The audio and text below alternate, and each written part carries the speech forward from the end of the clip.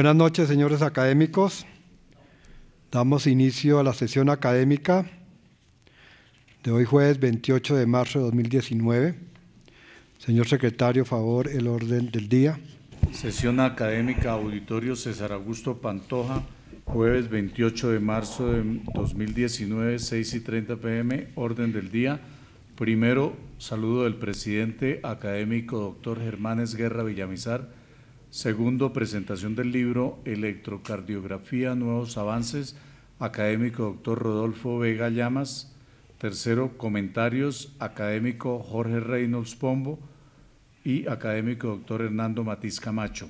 Cuarto, copa de vino.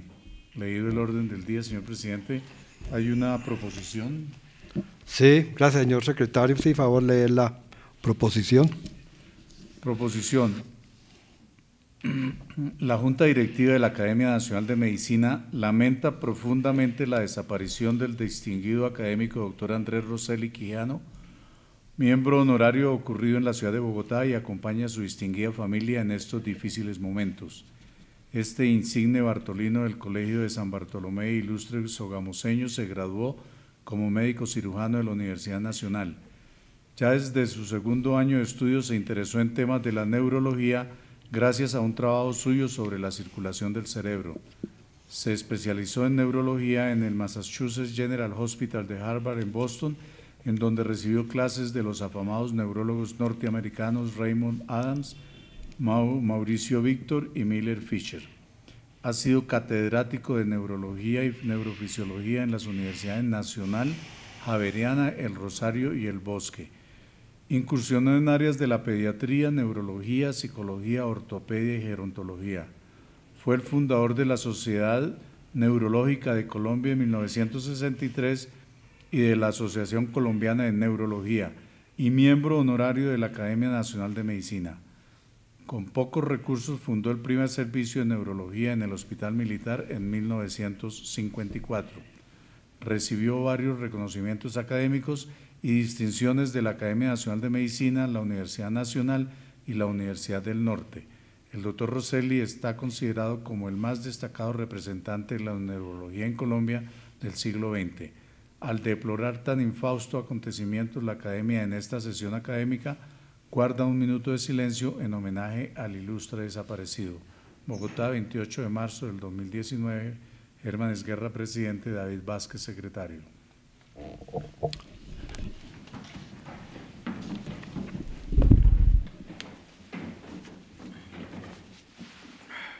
Gracias. Sí, evidentemente el doctor Rosselli fue una de las grandes figuras, no solamente de, esta academia, sino de la medicina colombiana, ¿verdad? Que fue una vida llena de méritos, una vida llena de accionares, de ejecutorias, de ideas, de pensamientos y de realizaciones. Eh, es lamentable el, fallecimiento del doctor Rosselli. Bueno, hoy tenemos quizá la primera sesión académica del año. Las anteriores reuniones han sido más de carácter administrativo. Y hoy tenemos esta reunión, que es la presentación de un libro. Nos ha inquietado y nos viene inquietando desde hace varios años la poca asistencia a las sesiones académicas. Y es propósito de, la Junta Directiva y, y asimismo de todos los académicos de que las reuniones de la academia sean bien concurridas. Y pensamos que una de las necesidades o una de las hechos que nos van a permitir o que nos deben permitir una buena asistencia va a ser las características y condiciones de las reuniones académicas. Entonces estamos interesados en que estas reuniones académicas tengan temas que nos llamen la atención hacia todos los académicos y que además se presenten temas de importancia y ojalá temas realizados por los mismos académicos. Entonces yo creo que el libro que hoy el doctor Rodolfo Vega Llamas, quien es académico desde hace tres años largos. Em, este tema pues es un tema importante porque es un libro de su autoría en donde también concurren varios de los académicos. Entonces, em, muchas gracias doctor Vega por venir a su academia a presentar este tema y que muy seguramente va a ser de la importancia y el interés de todos nosotros los académicos. Pero a todos, a ustedes les quiero transmitir ese mensaje y que este mensaje ojalá sea repetitivo para que invitemos a nuestros colegas académicos y no necesariamente académicos a que concurran a las reuniones de la Academia Nacional de Medicina. Y que esta primera reunión académica, la presentación del libro de muy seguramente las mejores características que, que hay en su, en su género y producida en el país, sea de interés para nosotros y que sea el punto inicial este año para las reuniones académicas, ojalá lo mejor concurridas. Que siga el doctor Matiz. Yo quiero eh, recordar la parte académica de Rodolfo Vega que no creo que todos las conozcamos. Rodolfo Vega es un médico general de la Universidad Javeriana. Él hizo es internista cardiólogo de la Universidad del Rosario. Estudios no invasivos del Monte Sinaí en Miami. Autor de 10 libros y conferencista, escritor de múltiples artículos. Eh, yo pues quiero también anotar, y como dicen los autores, que este libro es no solamente para estudiantes de medicina y enfermería, sino es estudiantes para, para internistas, para cardiólogos también. Entonces, eh, es decir, el, libro tiene capítulos tan interesantes que no son capítulos que normalmente se escriben en algunos libros, sobre todo en la literatura colombiana, de manera que quiero presentar eh, de esta manera al doctor Vega y que esperamos su conferencia. Creo que eh, Jorge Reynos iba también a decir unas palabras.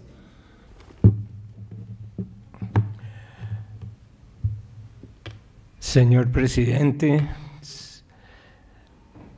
señor secretario, señores académicos, amigos todos, es verdaderamente un honor que me han concedido amigos completamente entrañables de muchos años a que yo haga un comentario sobre el último libro del doctor Vega, el cual, como ha sido su línea de los diferentes libros que ha hecho, dejan unas enseñanzas verdaderamente importantes, no solamente para el estudiante, para el cardiólogo, sino también para recordar la cardiología moderna en ya los cardiólogos tradicionales.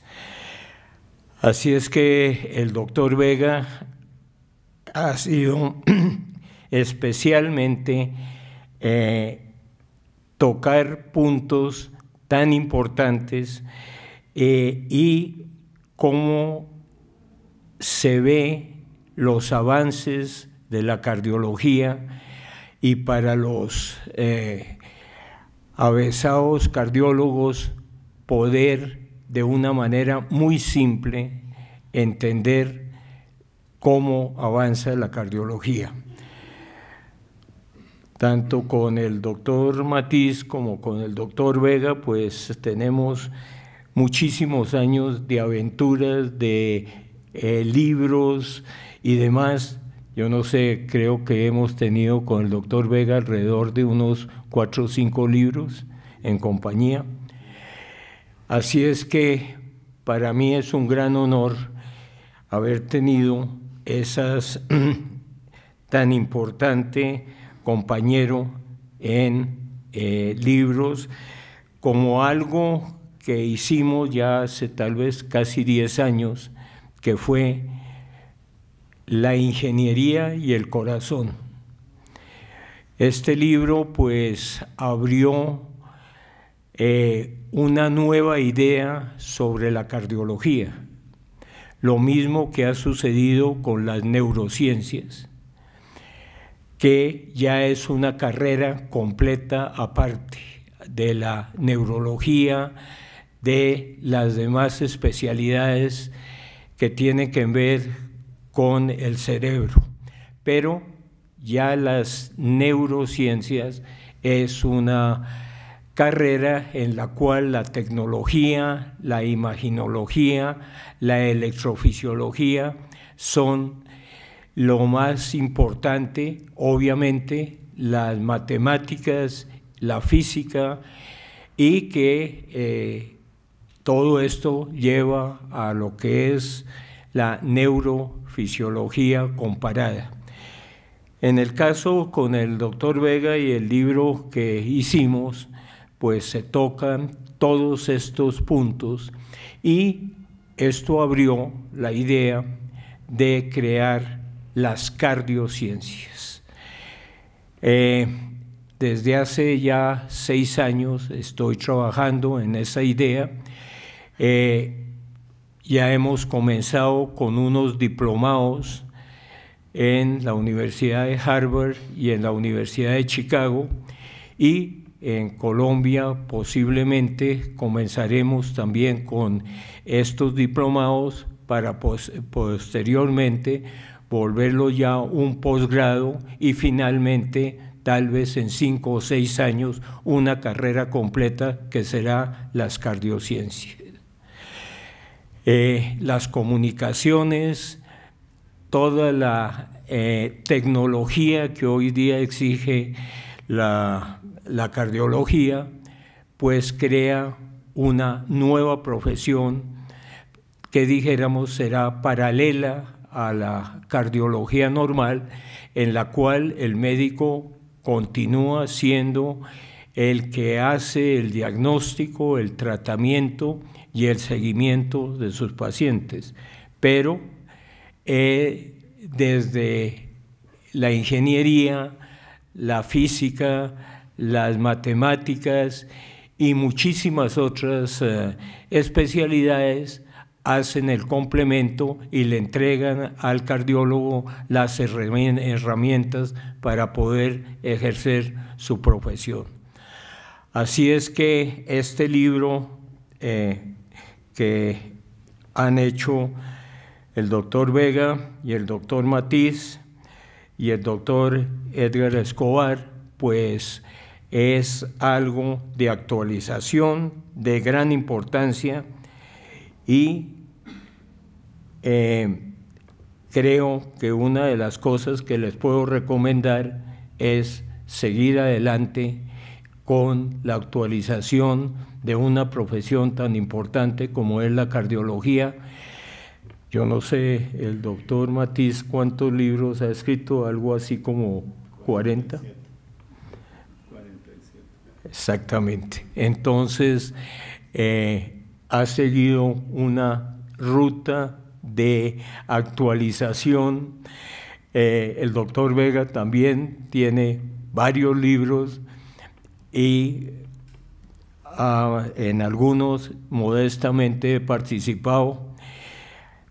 Así es que lo mejor de lo mejor y creo que esto abrirá puertas no solamente para los médicos, sino también enfermeras y todo lo que es eh, los paramédicos y la parte eh, que tiene que ver con la cardiología.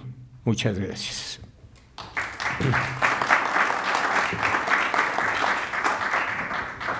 Buenas noches, muchísimas gracias por su presencia.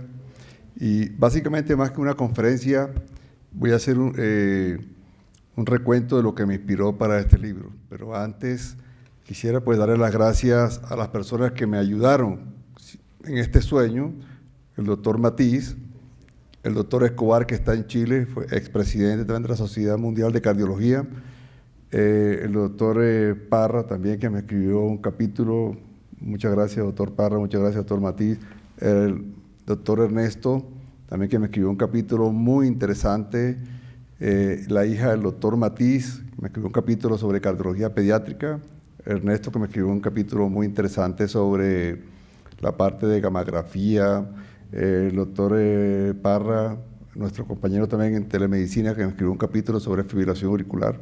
Y con el profe, pues hicimos un recuento muy interesante de, de, un libro que ya habíamos hecho anteriormente. Lo que hicimos fue que ampliamos este libro, hicimos un capítulo 2, y me estaba diciendo ahorita en el camino que cuando hacíamos el capítulo 3, eh, ¿cuál es la idea de este libro, básicamente? ¿Cuál es el, el recuento? Primero que todo, tocamos tópicos interesantes de actualidad. Eh, hicimos un ejercicio de electrocardiografía. Yo creo que a los estudiantes, además de mostrarles la electrocardiografía, que es algo que tiene que ver con vectores, con la parte eléctrica del corazón, les mostramos ejemplos y ejemplos que con vivencias de ambos, personales, que hemos tenido allá en telemedicina. Entonces cogimos casos difíciles que tal vez no estábamos ni de acuerdo en ese momento, y nos parecía interesante esos casos y colocamos ejemplo tras ejemplo, hicimos varios ejercicios de casos difíciles de diagnóstico en el cual a veces había un consenso y había un desacuerdo total en el diagnóstico. Cogimos esos casos.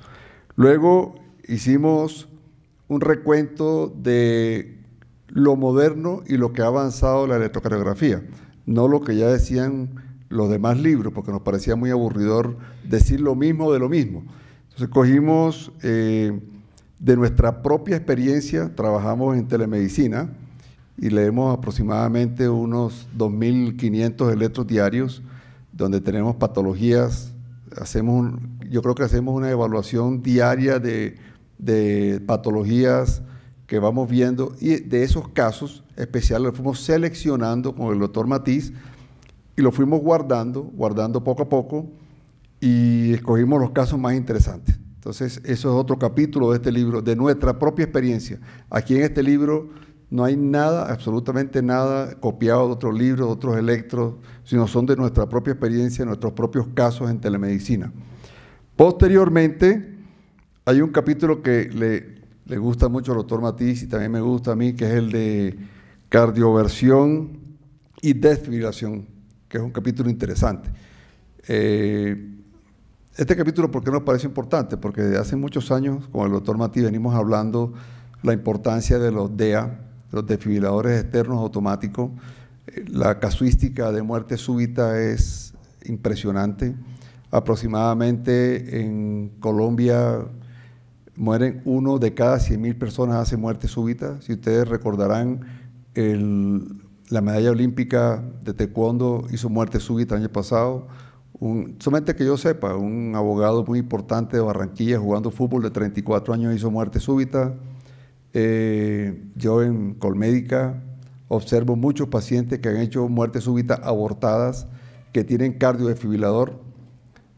Y eh, con el doctor Matiz hizo un esfuerzo grande y en este momento creo que gracias a una, a una iniciativa más de él, que mía, pues yo puse un granito de arena, pero él más que todo hizo esa iniciativa muy importante y es que existan DEAS.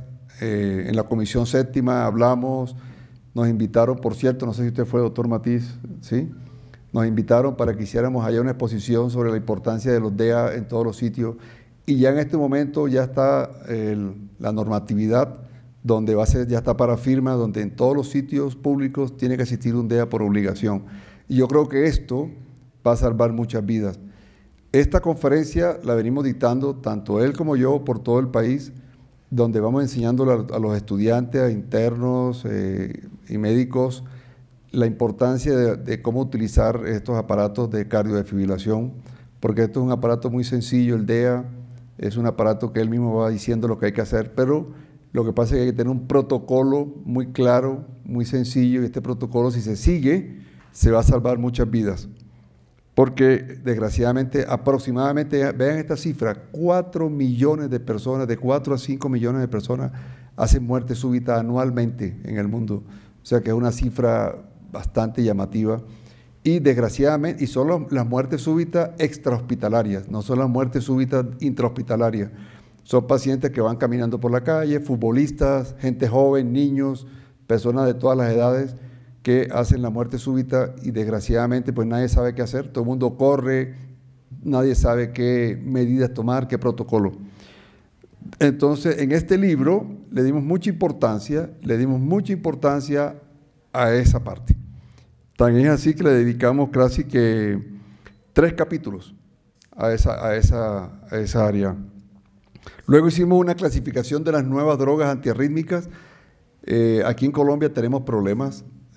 Yo a veces lo sufro en, lo personal, súbitamente eh, se acaban ciertos medicamentos antiarrítmicos, tenemos poquitos medicamentos antiarrítmicos, yo diría que dos importantes, la propafenona y la miodorona, y ahora primero nos quitaron la propafenona por un tiempo y no sabe uno qué hacer con los pacientes, luego la amiodarona también ahora parece que está escasa en el comercio, entonces estamos solamente con los betabloqueadores, el bisoprolol, el metoprolol, pero ¿Ah? ah, bueno, sí, exacto. Pero cada vez hay problemas, no sé por qué razones. El Ministerio de Salud pues no maneja esto un poquito más, de una forma más, más seria, porque los cardiólogos sufrimos cuando tenemos ese problema de que nos quitan estos medicamentos. Sin embargo, aquí colocamos en este libro los nuevos antiarrítmicos que deberían estar en Colombia, que en los Estados Unidos y en Europa pues no tienen ningún problema, nosotros tenemos apenas tres o cuatro o cinco y, a veces nos los quitan. Luego tenemos el código azul, también de paro cardíaco. En ese también le dedicamos un capítulo importante, cómo manejar el código azul en los pacientes en la creación del Registro Nacional de Paro Cardíaco. Eh, con el doctor Parra hicimos un capítulo interesantísimo que es el de fibrilación auricular. Esta es una arritmia cardíaca que tiene doble problema, porque esta es una fibrilación que como, tal, aparentemente, eh, si la persona no tiene ninguna otra patología, no puede ser grave, pero esta fibrilación auricular lleva a un ACV embólico, entonces la persona hay que tratarla no solamente por la arritmia, sino por el ACV embólico que se puede presentar en cualquier momento y que la persona puede caer en una silla de ruedas si no se trata rápidamente. Ya uno manejando la persona desde el punto de vista de anticoagulación, ya el manejo de la arritmia es fácil pero el problema aquí es que no nos haga un ACV embólico. Por eso le dimos mucha importancia a esta arritmia también.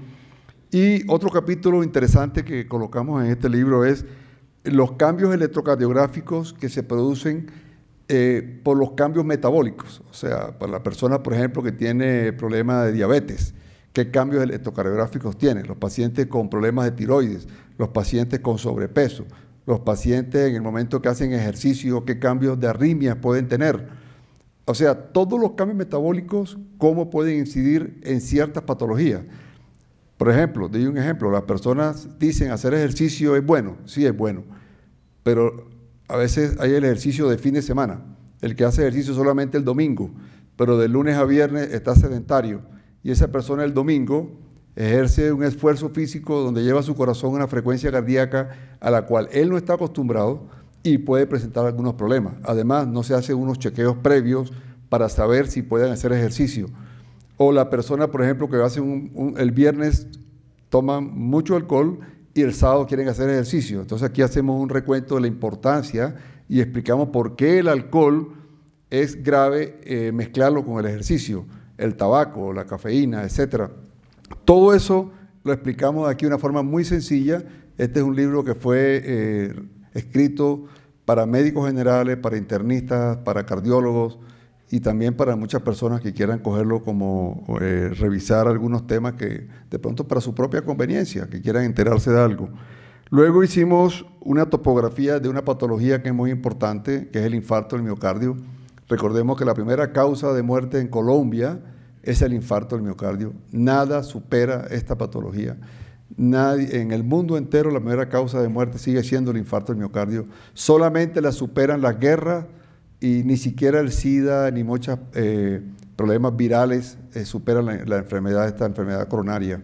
Por eso cada día hay que darle importancia. La enfermedad coronaria, a pesar de todas las medidas preventivas que se toman, que no se, en otras épocas no se veían, la gente ya sabe, por ejemplo, la importancia del alcohol, del sedentarismo, de las dilipidemias, del sobrepeso, de la herencia, la homocisteína, el ácido úrico, las dilipidemias. Todos sabemos esos conceptos, sin embargo, la gente cae súbitamente en estos factores de riesgo, en la hipertensión, no se la cuida, no toma sus medicamentos como debe ser, el estrés que cada día coge más fuerza, eh, el exagerado, la exagerada producción de glucocorticoides, ¿cierto? Y que producen las personas ante el estrés, esto nos produce un daño inmenso en el corazón. Todo eso lo explicamos aquí y esto nos lleva a un infarto. Además, hay una serie de factores de riesgo desconocidos que la gente no sabe que existen y todos hablamos de los mismos temas como factores de riesgo. Entonces hay otros nuevos factores de riesgo importantísimos. Aquí también hablamos, hablamos de las mutaciones cromosómicas que también llevan a, ciertas muertes súbitas, las comentamos aquí. Hay pacientes, por ejemplo, que hacen muerte súbita y, no saben por qué, no tienen dolor, no tienen hipertensión, prueba de esfuerzo normal, eco normal, holter normal, y sin embargo hacen muerte súbita. La pregunta es por qué. Esas personas vienen ya con una mutación cromosómica heredada de algún familiar anterior y estas personas pues tienen la predisposición a hacer una muerte súbita. Eso también, ese tópico lo tocamos. Luego tocamos otro de casos clínicos. Eh, un capítulo muy interesante que me hizo Ernesto, a quien le agradezco muchísimo, porque nos dio los nuevos conceptos que hay sobre medicina nuclear. ¿sí? El doctor Jesús Ernesto eh, Villarreal, gran amigo y paciente mío también, me hizo un capítulo interesantísimo sobre eso.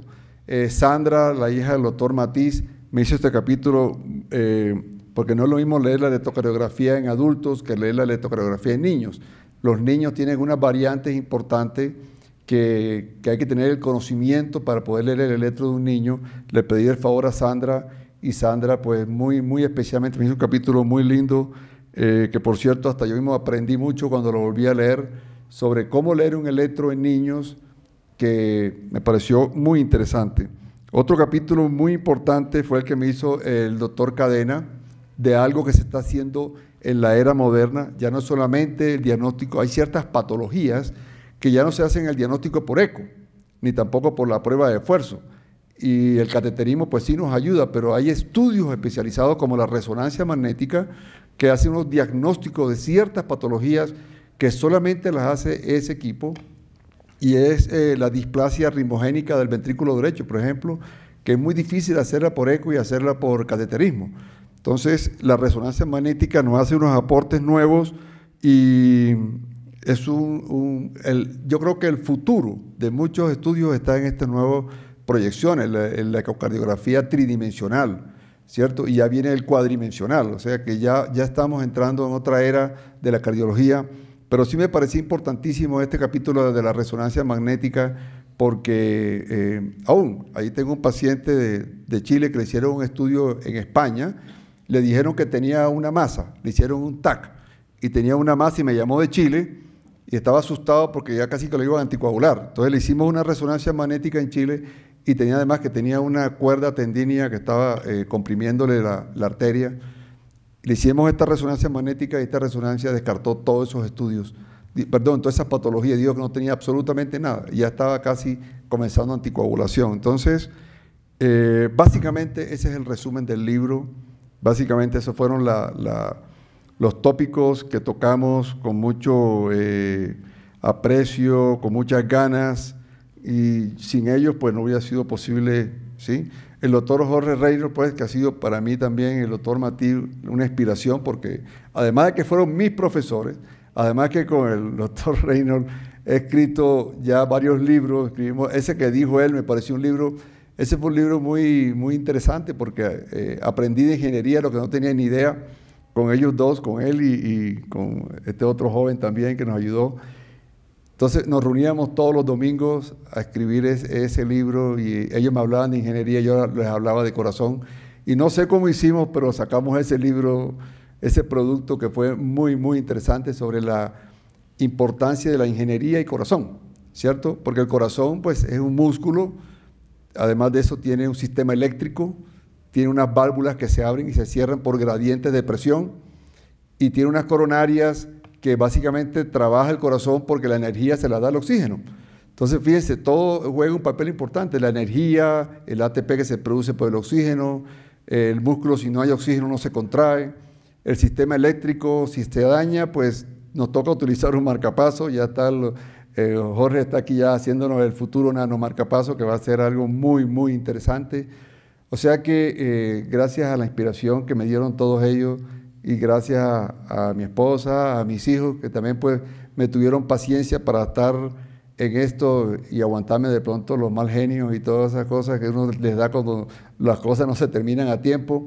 Pero básicamente eso y gracias a ustedes por venir, compartir estas palabras conmigo, gracias por compartir este libro y pues básicamente de estos libros cuando uno los escribe es para salvar vidas, ¿no? Esa es la importancia y gracias al presidente de la academia, al secretario por eh, acompañarme en este momento, a todos ustedes eh, por estar aquí en este momento tan especial. Básicamente es eso lo que quería decir y muchísimas gracias. Bien, doctor Vega, usted ha hecho un recuento muy pormenorizado de, del contenido de su libro. En verdad, muy seguramente es, va a ser de utilidad y será de utilidad para estudiantes, para cardiólogos, para internistas, para médicos generales, para enfermería, en fin, para todo aquellos eh, eh, trabajadores de la salud que tenemos que ver o que tienen que ver con la cardiología. Yo hace, hace varios años, hace unos dos años, y más ahorita cuando estuvimos en la remodelación de, de la casa, con la cuestión del traslado del museo y la ampliación de las salas, observé que el doctor Matías hace unos años hizo una donación aquí a la academia. Y hay un defibrilador, si no me equivoco. Y entonces alguna vez que lo removimos de allí y, y volvimos a colgarlo después de que ya pasó el, arreglo del baño, eh, del, del salón de baños, del nuevo baño, entonces me dije, hombre, aquí hay un aparato que muy seguramente algún día desafortunadamente tendremos que utilizar. Y me puse a hacer un recuento personal, yo soy médico, pero yo no sabría hacer una resucitación. Yo no sabría utilizar el aparato que el doctor Matiz donó a la Academia Nacional de Medicina. Es no sé si está dotado con todos los elementos y con todas las cuestiones. Tan así es que un, hijo mío acabó de su medicina y está ahorita haciendo su rural y algún día le dije, oh, me dijo, estoy haciendo un curso ahora para graduarse o para el internado, hay un curso de resucitación como eh, parte del aspecto académico. Oye hijo, algún día, ¿por qué no vas a la academia y a todos los académicos nos dice, hombre, ¿qué? ¿Cómo utilizar ese, ese aparato que el doctor Matiz utilizó y cómo? ¿Cómo?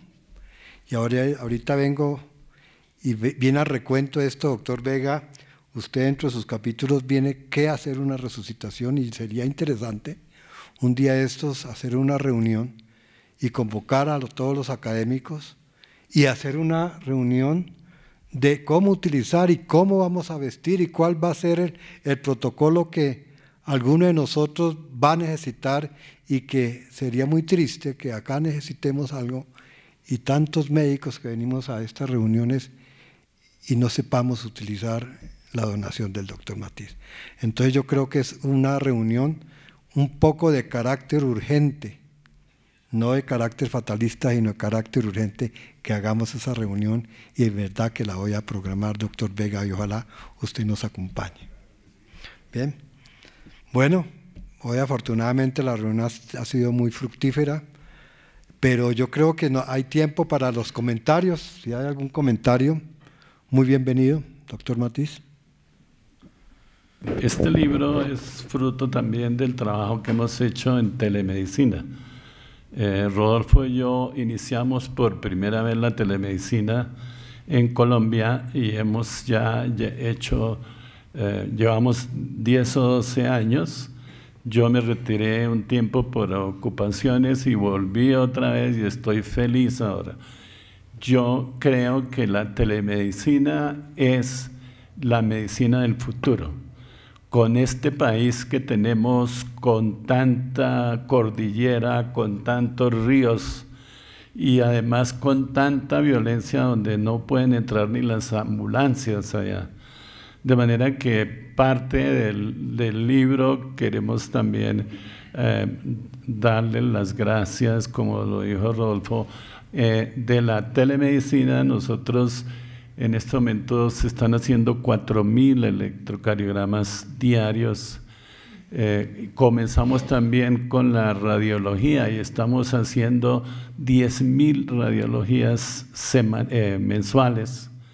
Y ya hacemos telemedicina de cardiología, telemedicina de medicina interna y telemedicina de ginecostetricia donde está un hijo mío precisamente eh, jalándole a eso y estamos tratando de que él vuelva cuando se, se mejoren las, las condiciones de, de, NITMS. Yo creo que eso es muy importante. Eh, la, el, el DEA, eh, yo lo presenté, yo hice el anteproyecto del DEA y se lo presenté al doctor Duque cuando él todavía no era el presidente y luego lo, eh, lo, lo, eh, lo, pusimos en la comisión sexta y en la comisión sexta el, el, ese anteproyecto inmediatamente pasó. ¿Y por qué? Porque lo hicimos para todo el país. Aquí hace dos años se hizo um, eh, un, decreto para el DEA en Bogotá y entonces eso nunca, nunca eh, se puso bien en el sentido de que era únicamente para Bogotá. Y esto es ah, verdaderamente ha salvado vidas. Aquí no hemos necesitamos, la gente que no quiere hacer eh, el DEA dice, pero ¿para qué? Aquí podemos decir que hace cuatro años no hay un muerto, pero con un solo muerto que podamos recuperar es, es importantísimo para... Me parece muy bien, señor presidente, que podamos hacer la,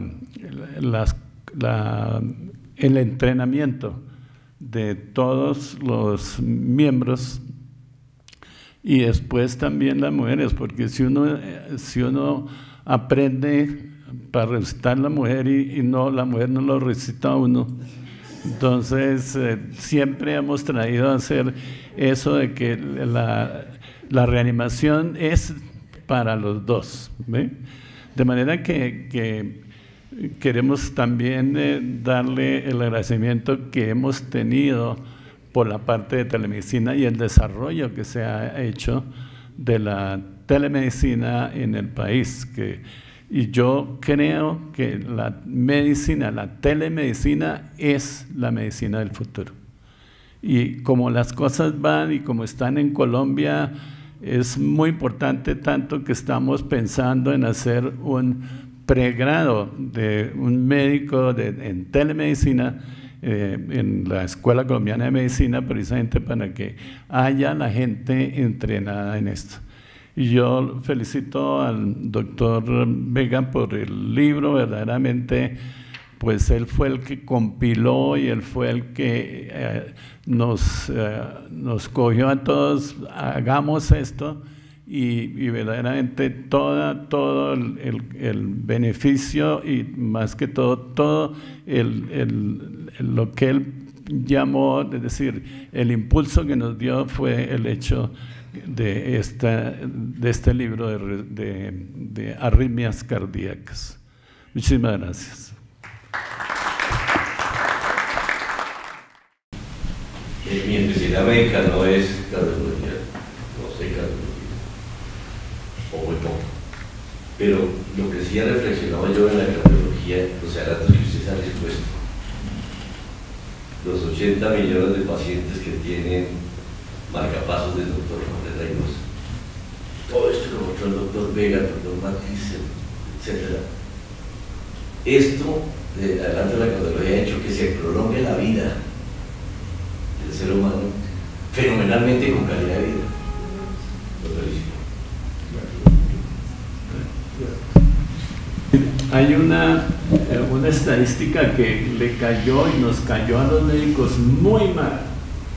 Antes la estadística era la enfermedad aterosclerótica coronaria, luego la estadística, el segundo puesto era el cáncer y la tercera parte de las infecciones. Hoy en día la tercera parte de, mundial de mortalidad son los errores médicos prevenibles. Imagínense ustedes, es, cambió así de esa forma y por eso hay que estar de golpe cambiando los, los, los currículos de las facultades de medicina y nosotros estamos muy, muy eh, verdaderamente eh, atropellados por eso que, que nadie se imaginó que la tercera causa de muerte en el mundo sean los errores médicos prevenibles. Y ahí estamos. Sí, y, lo, y lo, el hecho es que muchas veces, pues, los errores muchas veces son eh, culposos, pero hay otros que es por omisión. Y esa omisión también es un error médico, y más cuando de golpe estamos en capacidad de, de dar cualquier actitud médica que pueda salvar alguna vida.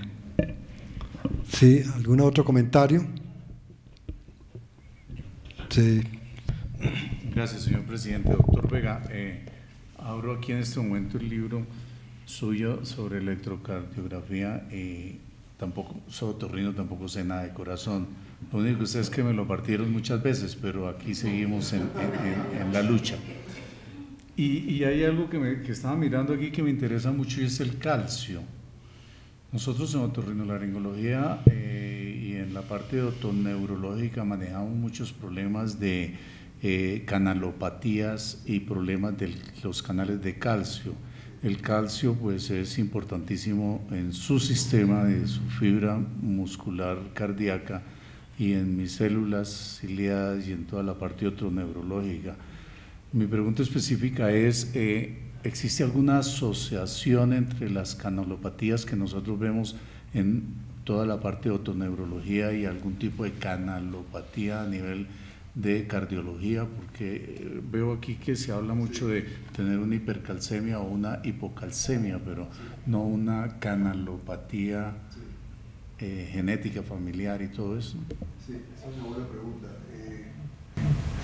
yo conozco un ejemplo, ¿no? Nosotros tenemos en el corazón al igual que estas sillas, tenemos unos espacios, ¿cierto?, que van a través de todo el corazón. Y a través de esos espacios entra el sodio, el potasio, el calcio, pero tiene que ir por esos canales.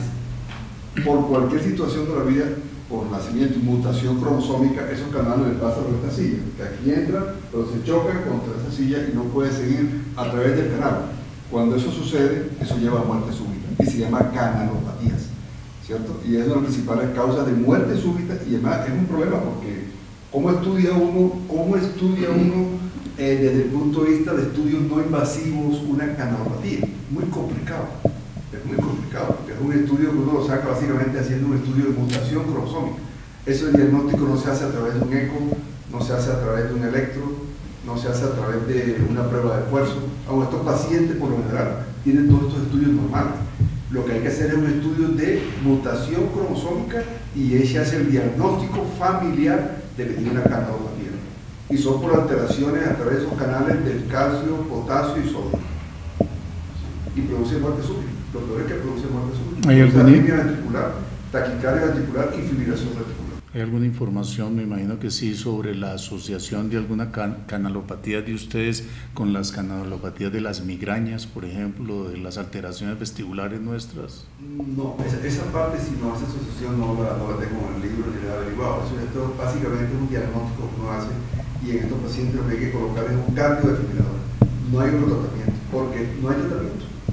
Estas canalopatías son alteraciones por las que uno viene de esos canales y entonces el paso se altera, se trastorna el espacio de calcio, sodio y sobre todo el peor que es el de potasio. El, el más peligroso. El canal, el potasio no se puede dañar a través de estos canales. Entonces tiene que transcurrir perfectamente y cuando se daña, el potasio no pasa y hace herramienta que cardiovascular. Los moduladores de los canales de calcio que digamos nosotros utilizamos en muchas tipo migrañas y patologías vestibulares me están dañando el corazón de los pacientes que está pasando en esos canales de calcio, me, me preocupa. Después de que dicen que los errores médicos, ahí estoy metido yo, doctor, entonces, ¿qué está, qué está pasando con esos canales de calcio del corazón? Bueno, son daños ya de... Esos daños ya genéticos. Ante estos daños no se puede hacer absolutamente nada. Porque uno normal tiene bien su sodio, tiene bien su potasio y tiene bien su calcio. El problema no es la cantidad que uno tenga, el problema es que no pasan a través de los canales. Entonces, terminan en taquicardia, fibrilación particular y paro cardíaco y muerte súbita. Y esto puede ser a cualquier edad, no tiene que ser una persona de... Oh, yo tengo un caso que este parece chistoso, pero es real. Tengo un paciente que hizo un paro cardíaco, un niño de 12 años. Le hicimos el estudio de mutación, él fue a mi consultorio, le hicimos el estudio genético y él fue con el papá y la mamá y fue con sus tres hijos. Le descubrimos que tenía una mutación cromosómica que era una. Ese fue un informe genético, una canalopatía. Bueno, le dije al papá, eh, tú eres, por tu línea viene este problema, hay que colocarte un cambio desfibrilador a ti y a tus tres hijos. Le colocamos el cambio desfibrilador, el papá no quería, se le colocó al niño del paro, pero él no quería para él ni para sus otros dos hijos porque decía que estaban bien. Tocó sentarme con él, mostrarle el estudio de mutación cromosómica, explicarle que podían hacer un paro cualquiera de ellos. Por fin se dio y se le colocó el cardiofibrilador.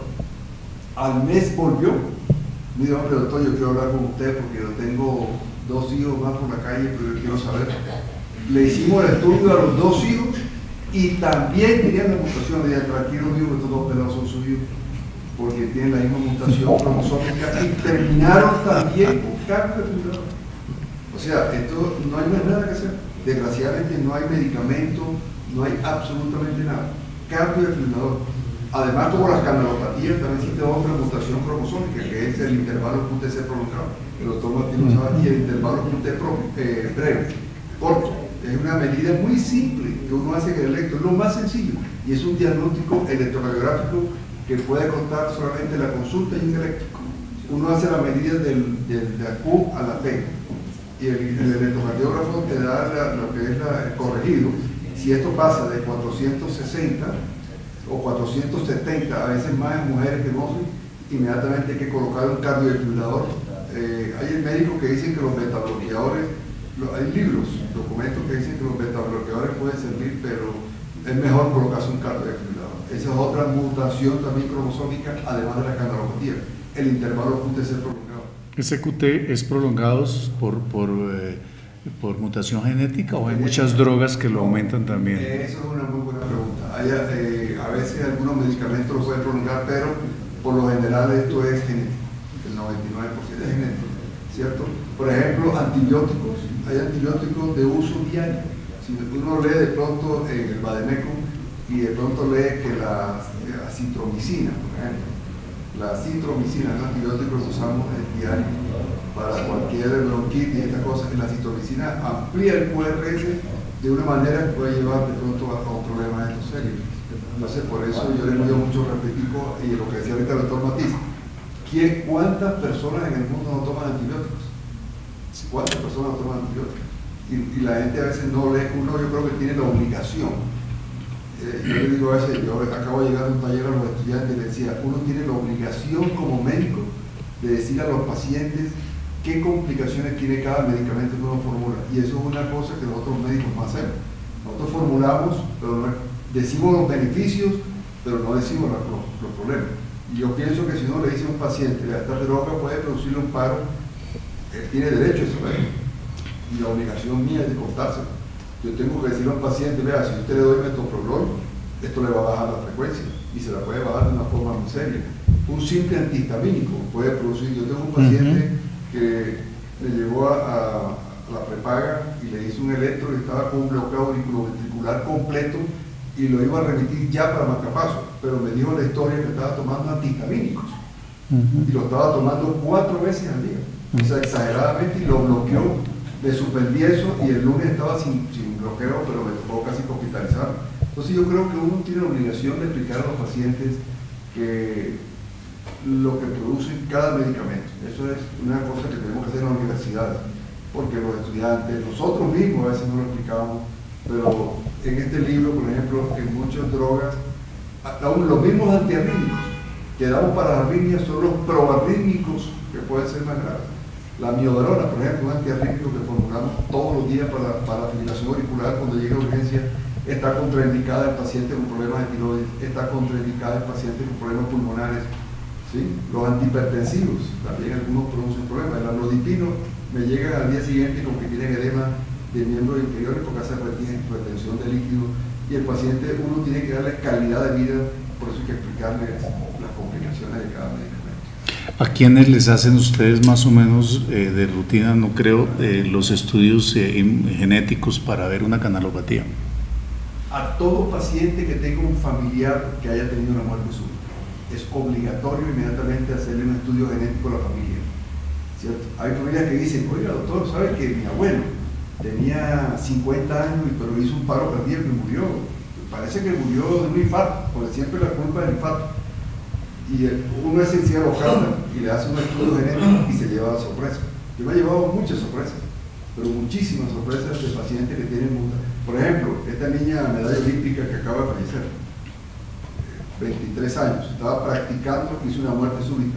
A esa familia hay que hacerle un estudio de mutación eh, genética cromosomal para cromosómica para descartar que quién más en la familia puede hacer muerte súbita. Eso es insufacto que hay que hacer. ¿Sí? Y así, muchas, muchas personas, eh, un piloto viniendo de París, Nueva York, en pleno vuelo, en la mitad del vuelo, iba conversando con el copiloto, 35 años, hizo muerte súbita. El expresidente de la Sociedad de Reanimación Pulmonar, costeño, de Montería, venía en un vuelo de Montería a Barranquilla y en pleno vuelo venía conversando y el de al lado pensó que se había quedado dormido, hizo muerte súbita y llegó le tocó aterrizar antes porque había hecho muerte súbita en pleno vuelo. Y así le puedo seguir dando, yo tengo una conferencia donde eh, presentadora, gente jugando golf, tenista, niños de 10 años hacen muerte súbita. Y hay otras causas también. Eh, el amigo del hijo mío estaba aquí en cada eh, en este deporte, por ejemplo, donde hace maratones de más de 10 kilómetros, por lo general hay una estadística que dice que en cada tres maratones hay una muerte súbita. Por cada tres maratones hay una muerte súbita. Y yo creo que cada vez se ha ido aportando. En la maratón del año 2017, dos muertes súbitas. Una abortada, que fue el amigo de un hijo mío que tenía una coronaria anómala, hizo el paro, pero lo hizo al lado de la ambulancia y lo llevaron a la Chayo y le colocaron, le hicieron cateterismo y encontraron que tenía todas sus arterias perfectas, pero tenía una arteria anómala y esa arteria le falló cuando estaba haciendo ejercicio. Y otro señor de 60 años hizo una muerte súbita. La principal causa de muerte súbita es la enfermedad coronaria, que es el 60%. Y el 40% restante son estas patologías. Canalopatía, intervalo QTC prolongado, eh, fibrilación auricular, arritmia cardíaca, pacientes que hacen descargas muy bruscas de catecolaminas y hacen taquicardia ventricular, ¿cierto? En una rabia, por ejemplo, la gente dice, ah, no, se murió de una rabia. Sí, se puede morir de una rabia. Cuando uno coge una rabia es una descarga brusca de catecolaminas y en esta descarga brusca esta persona puede hacer una arritmia cardíaca o puede hacer un vaso espántico, ¿cierto? O sea que eh, hay infarto, por ejemplo, de personas que cogen una rabia y hacen el infarto inmediatamente. O sea que eh, es importante esa pregunta. Muchas gracias. Perdón, ¿hay canulopatías adquiridas, digamos, por toxicidad o qué sé yo? Sí. ¿Son reversibles? Cuando es por drogas, por ejemplo, un problema de los canales de calcio, cuando es por droga, ¿es reversible o es una canalopatía que ya queda estructuralmente? Es reversible, es reversible, es reversible. Pero, por ejemplo, una causa de muerte súbita, por ejemplo, son las irradiaciones y la quimioterapia. La quimioterapia produce daño, eh, produce daño directo, directo en el músculo cardíaco y en el sistema eléctrico. ¿Cierto? Todos los pacientes que reciben quimioterapia hay que estar haciendo ecocardiografía y Holter cada tres meses porque estos pacientes hacen, hacen muerte súbita y la persona no se murió del cáncer, no se murió por la, por la quimioterapia. O la radioterapia también. La radioterapia eh, produce daños estructurales en el corazón directos y más aún cuando es un cáncer de pulmón que le hacen radioterapia o un cáncer de seno eh, izquierdo. Esta radioterapia por lo general le produce daño directo en el corazón y daño severo que lo lleva a muerte súbita. O sea que eso es eh, importantísimo. Y muchos medicamentos, muchos medicamentos. Sí, a ese respecto hay mucha verdad. Hay unos, algunos medicamentos oncológicos de gran actividad, pero eh, efectivamente eh, afectan grandemente el corazón y el daño de la quimioterapia, por ejemplo, la doxorubicina o daunorubicina.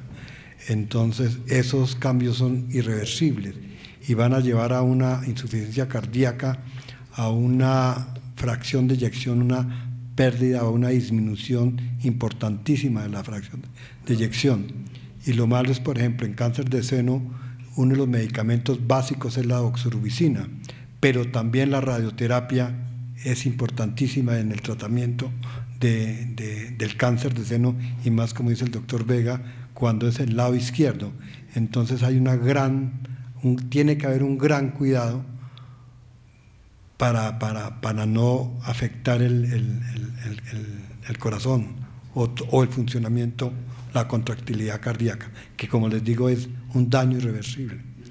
Un, un, una insuficiencia cardíaca por, por daño de fracción de eyección del corazón mmm, es una gran tarea para, para el cardiólogo. Sí, cómo no. ¿Algún otro comentario? Sí, doctor. Eh, gracias. Yo creo que no hay que centrarnos únicamente en medicamentos. Hay productos como los energizantes que producen arritmias con mucha frecuencia, que son un peligro y que pues realmente no se le ha dicho a la población en general en qué peligro están porque fácilmente desencadenan arritmias que los pueden llevar a la muerte súbita. Totalmente cierto. Interesante porque me surge otra, otra cuestión, yo creo que tenemos tiempo. Eh, en este momento pues hay un auge grandísimo de lo, todo lo que son los productos derivados de, los, eh, de la ruta de los cannabinoides.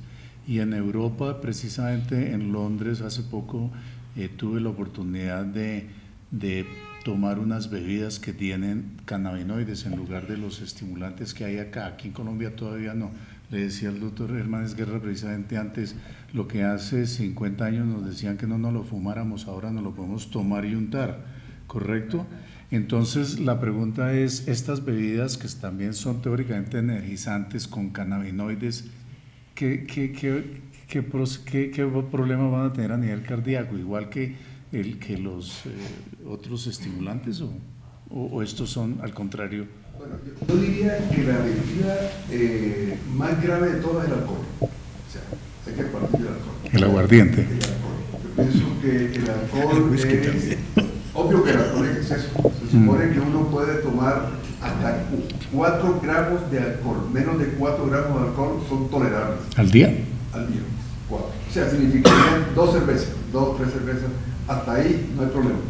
Cuando ya uno ingiere más de 4 gramos de alcohol, inmediatamente ya el hígado no alcanza a metabolizar. O sea, el hígado hace el mayor esfuerzo, uh -huh. pero no alcanza a metabolizar, entonces queda un sobrante. Y ese sobrante que no puede metabolizar el hígado es el que comienza a depositarse, sobre todo se deposita en el cerebro, el corazón, y el corazón produce daño directo.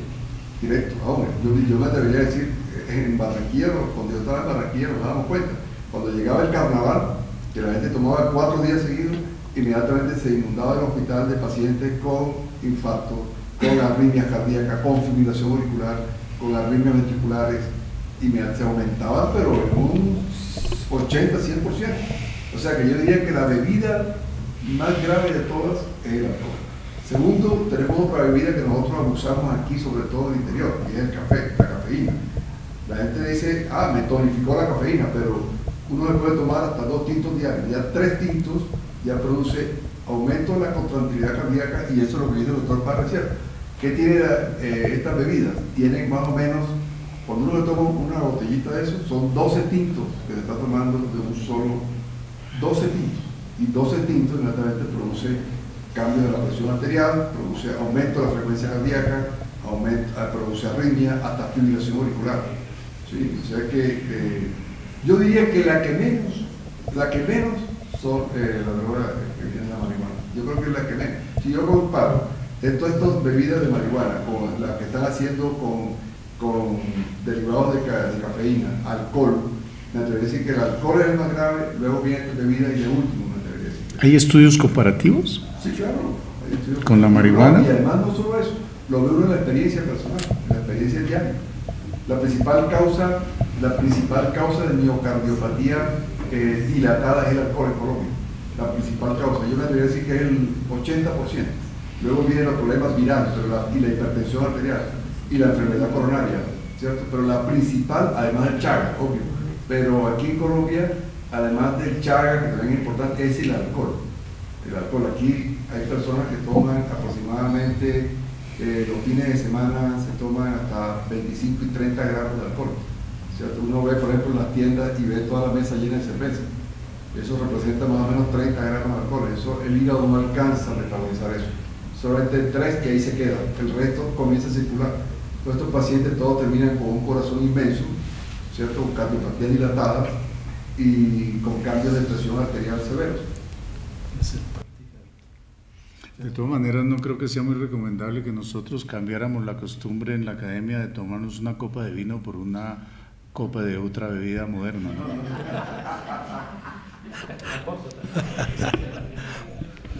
bueno, ¿alguna otra pregunta? Doctor, sí, cómo no. No somos de del ambiente médico, pero personalmente me parece que extraordinaria la exposición. Aprendimos mucho esta noche. Muchas gracias. Bueno, ¿alguna otra? Entonces ahora vamos a la copa de vino. Muy bien, muchas gracias.